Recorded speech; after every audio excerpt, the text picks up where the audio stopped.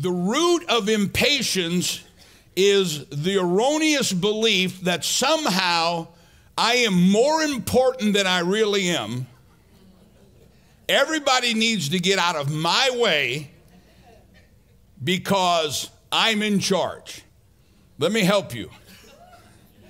There is one in charge. I, I, I love the, there's a movie called The Stranger Among Us. I don't know if you've ever seen it.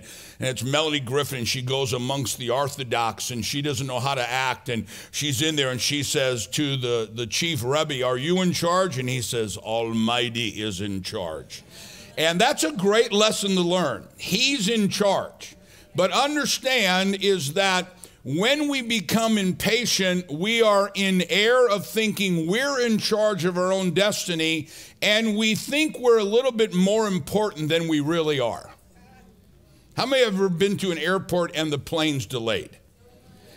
Go, next time you're in an airport and there's a delay of the plane, watch how people respond. Now, let me throw this in, and I don't, there's no way to teach all of this.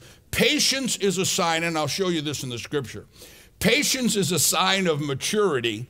Impatience is a sign of childishness.